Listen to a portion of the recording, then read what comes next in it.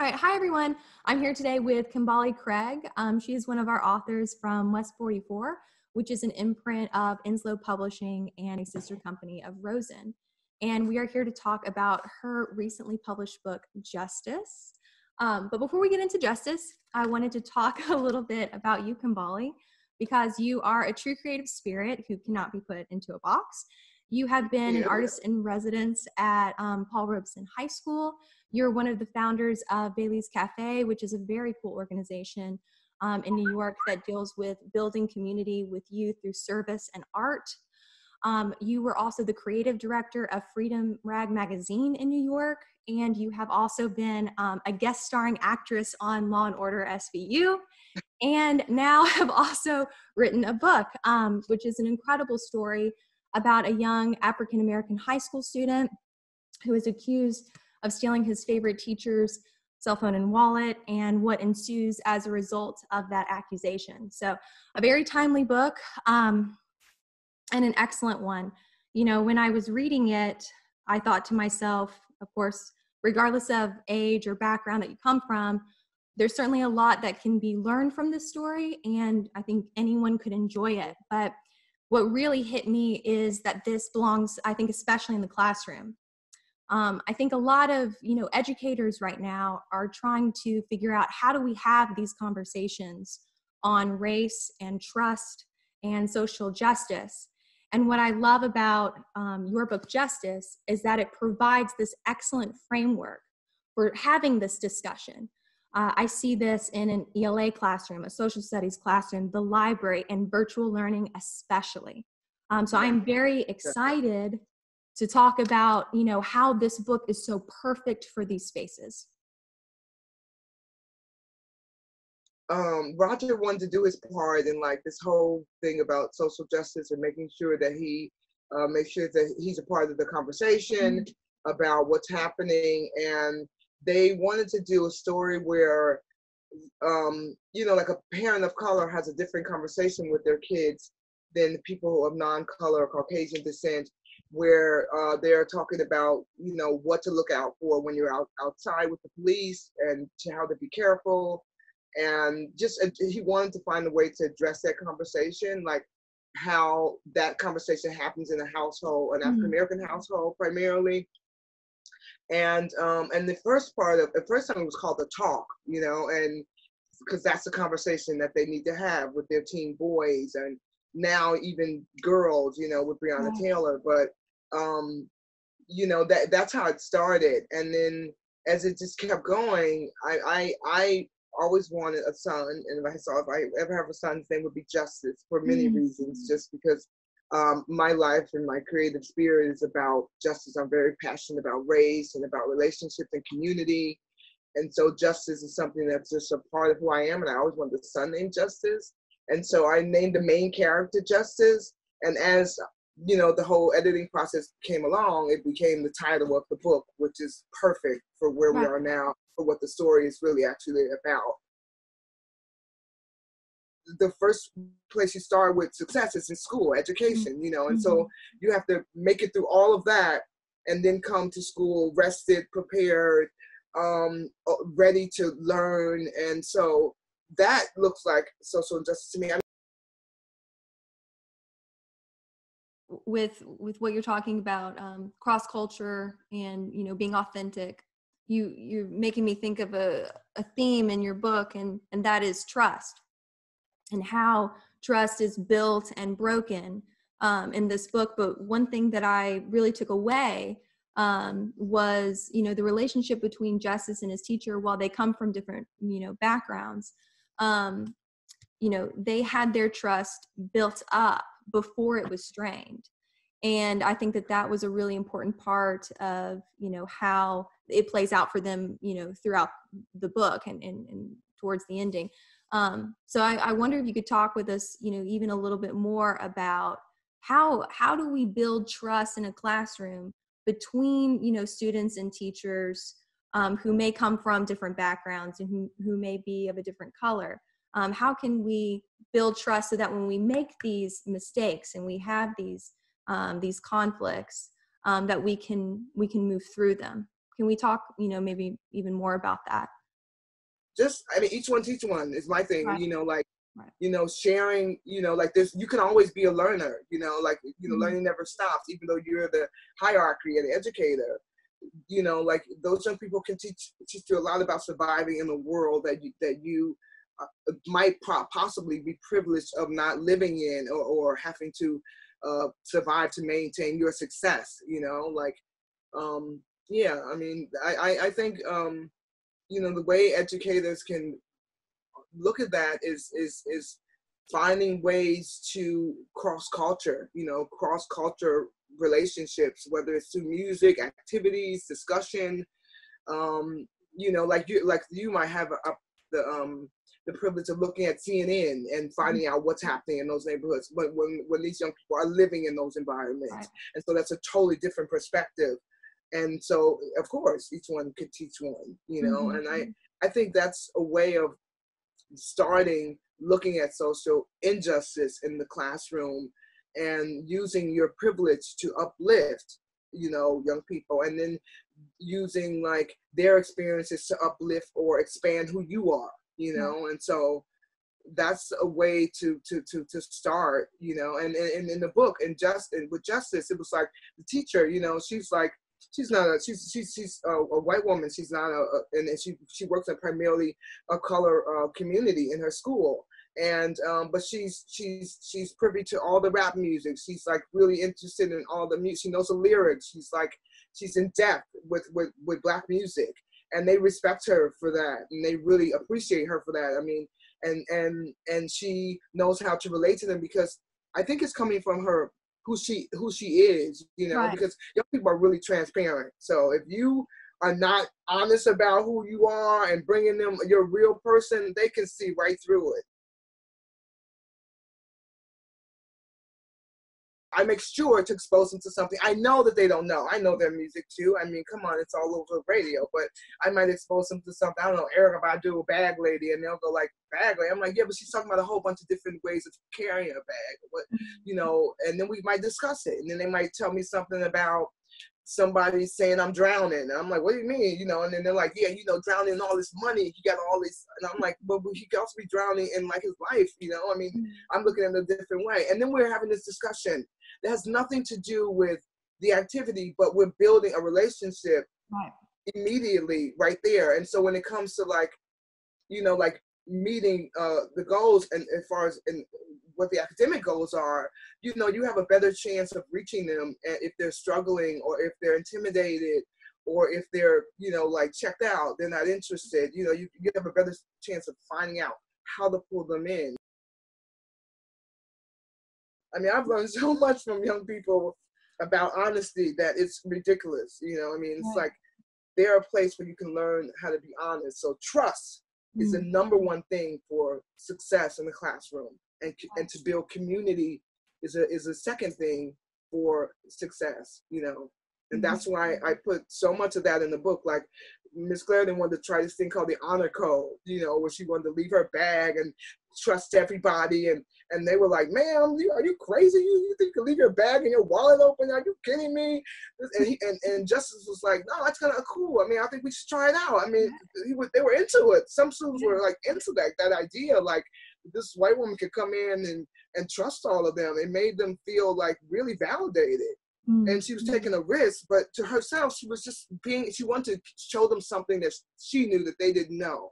And then somehow in the story that goes left, but it goes left because of their conditions and because they're what they're dealing with in their struggle. It doesn't go left because of, of maliciousness. Right. It does that doesn't go left because of that. You know, when you read the story, you know when the story is when you guys get the book, you'll know that that it doesn't go left because of that. It goes left because of circumstances um, that has to do with we do with poverty, environment, and a lot of things that we're talking about, and lack of privilege, you know, and injustice circumstances. Well, with as you're talking about, you know, Mrs. C, one of the characters, you know, in the book, obviously, um, there's a quote that comes to my mind, and I'm not going to get it perfect. I was, you know, on social media, and um, but it but it really hit me, so I'm going to paraphrase it um, here now. But it, the gist of it was that you know when we're having these conversations about um, race, if you are a person of color, um, you know, the quote was saying that you you're not seeing that as a purely academic discussion. You know, you may be Definitely. reliving or um, re-experiencing, you know, different things that have happened to you as a as a result of of what's happened in the past. And if you are, you know, staying calm or emotionally detached um, when you're having that kind of conversation, that's actually a sign of your privilege. And that really hit me like a ton of bricks. I had never you know conceptualized it that way. Um, and i feel like your story there's a scene in your story that outlines that you know really well and i was hoping that you know you would share that with us um, from the book because i think it, it goes yeah yeah. goes to that. Well i can i can kind of i can kind of set it up a little bit Yeah. too that'd be awesome. you know um you know like like i don't know i mean i don't know if it brings like like you said uh it brings like pain and reliving it but what it what it can do is like like i said if you're watching something on cnn and then you're talking about you know like police brutality or Mhm. like gun violence and Mhm.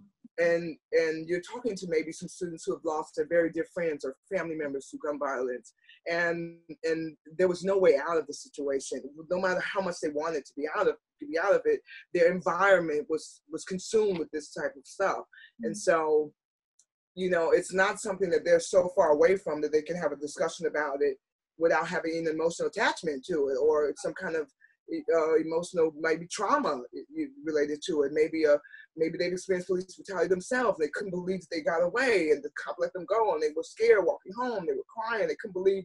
I saw a movie once and I think it was Boys in the Hood. Yeah. Mhm. And this cop was like a bad, vicious cop. And he, he, they were hanging out one night, one day and the, man, the main character that got out in Boys in the Hood, the character by Cooper Goodman, he got, he got out. Um, he survived all of everything, but he lost his friend, of course, in a gun violence situation, his very best friend. But, they were driving, and the cop targeted targeted them primarily because he was someone who was trying to get out. So sometimes you know, crabs in a barrel they pull you down, Mhm. and he put a gun in his mouth and was talking to him the whole time, like, "Yeah, I could shoot you right now," and this and that, and you, I would be, I wouldn't be in the wrong. I'm a police officer, and the kid couldn't say a word, but he was crying silent tears. And when he got home, he went to his girlfriend's house, and he was punching and crying, punching and crying. He just felt so demasculated. You know, he didn't feel like a man anymore. He felt so so vulnerable. He was so afraid. He just cried, and because he was he was so intimidated by that moment, but he also was so happy to have survived to come home.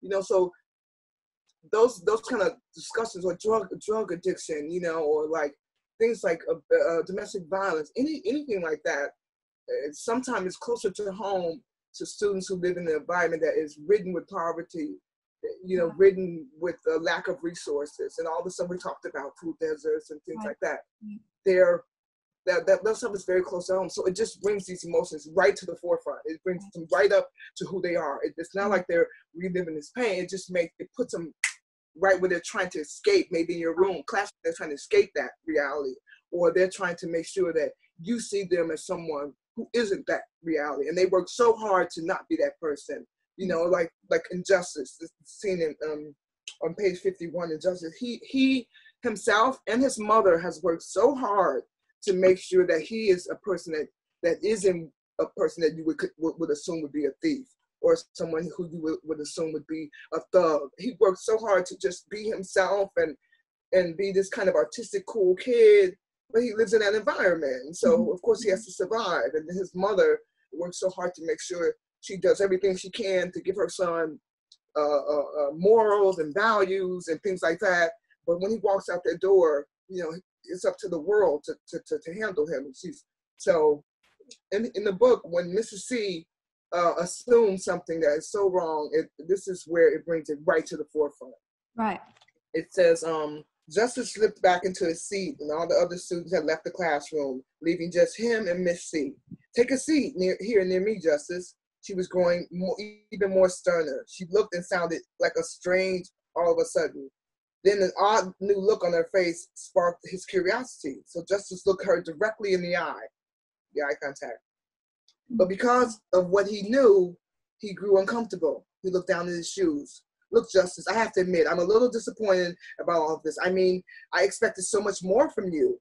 She does think I did it. She thinks I'm a thief. How could she? That's Justice, like, she can't believe it. Justice raised his head in shock, searched her face for the old Mrs. C, the one who liked and admired him and trusted him. Don't worry, I'm not going to write you up a, a report, okay? I don't want to make a big deal about this. I just need you to return my cell phone and my wallet, and I need it back on my desk by tomorrow morning. Then we can put this whole thing behind us and start over with a clean slate, okay? How's that?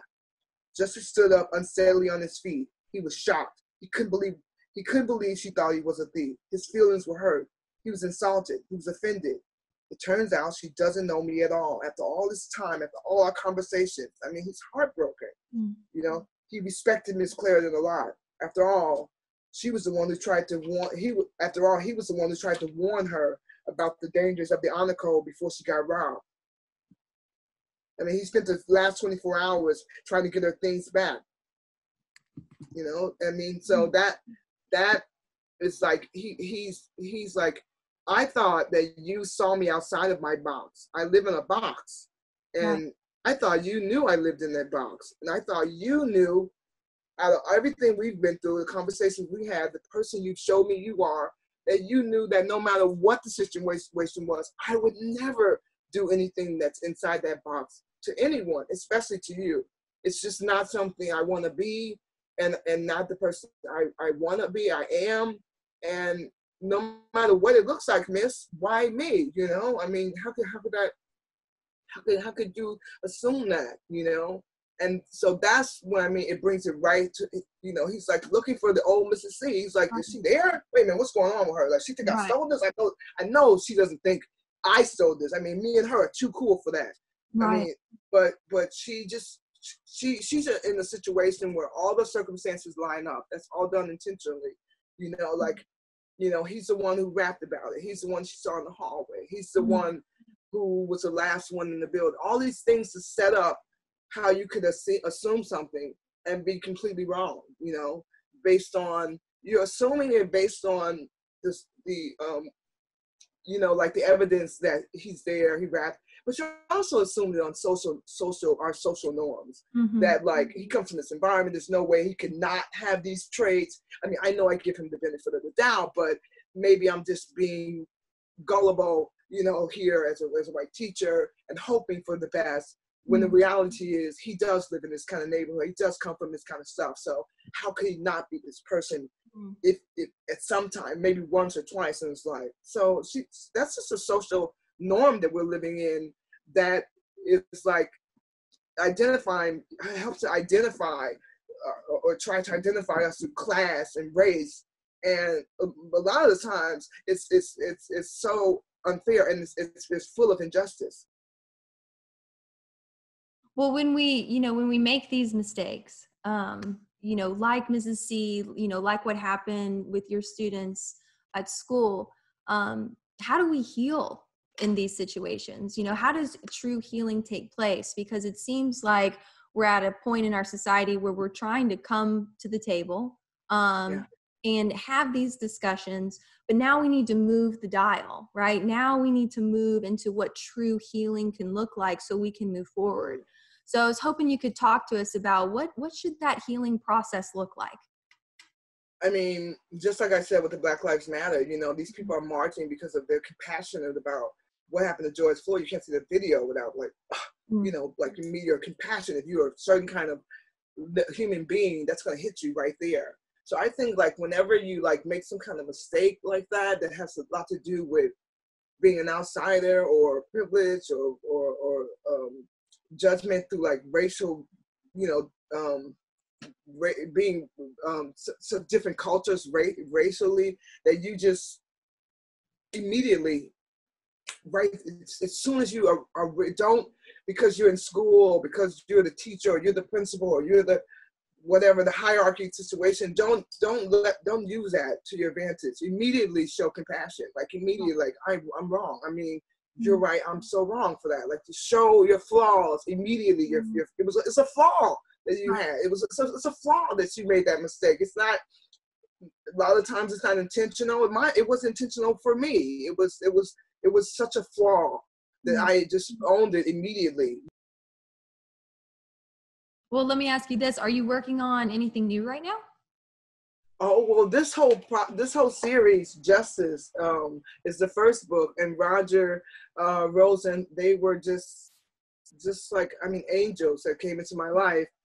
I was like thinking, you know, that me, and they were like, no, they want to do four books. So, so Awesome. like this is a, the second book I'm working on is uh, Ebony, primarily Ebony story. When you get to the end of the story, you will see why Ebony story is, is just as important next. And so uh, I'm working on the uh, second main character story. This is our next book, and and then just continuing this this community and this uh, uh, their lives and and a lot of things that they they're experiencing. And who knows, you know, like I, I wrote these books to one day that they would be after school specials. I would turn them into short Mhm. films. So I write I write them so that they can also be movies. So that's that's what's next with with um with justice and you know it's like four more book three more books coming up but the second one's already in the works i'm almost almost finished with it and um yeah it's ebony's story Very cool. i'm really Well, excited about that until then, I want people to know that um, you can totally check out Justice um, by going to west44books.com. This book is already being used in a virtual learning setting, I've been told. Oh, yeah. Molly, Can you tell me a little bit about that before oh, we go? yeah i was i was contacted um online by this teacher in uh, aurora illinois and i live in brooklyn and she was telling me that her her her students are primarily latinos Mm, and that they chose this book for themselves like they had an option to choose whatever book they wanted and when they chose my book i was just like so humbled awesome. and she said thank you so much for giving us such rich, rich, rich topics to discuss and and and for the ways for her to help see her students in a way for them to share differently and then you know just just that it was the virtual learning for them was that they chose the books and they stuck they Mhm. stuck with it i mean to the end and they wanted to do it i think because of how how it reads and what it's about how it relates to to, to them even if even though they were they were latinos Mhm. they, they, they, they, these stories are still ring true to anyone who's in an urban environment or anyone who is a statistic of stereotyping or anything like that, then the book will resonate with that with that group of young people. And so they they I was extremely happy to start to you know interact with these young people and and feed them as much as I could about the justice what justice brought up brought up for them. So I think it's it's right on for where we are right now with COVID vir- virtual learning. It's a rich topic for for teachers to be able to talk about and dive into, and then it, it gives a platform for young people to be more honest about their perspective of what's going on and how they feel about you know the climate of the change of social change that we're living in now. And so that, that's why I think it was, you know, it was such a success immediately. Like it sold out on twice and Mhm. I don't know. I'm just looking forward to more and more work with it and more and more with the next few books that come along with the story. Me too. I hope that um, after you finish uh, your next book, that we get to do this again. You know, and Yeah, and me too. talk- Yeah, talk more absolutely. Yeah. All right. Well, thank you everyone for watching. Again, check out Justice and um, Kabali. I hope I see you very soon in the future. Yeah. You guys too. Bye bye. Thank you so much. Bye.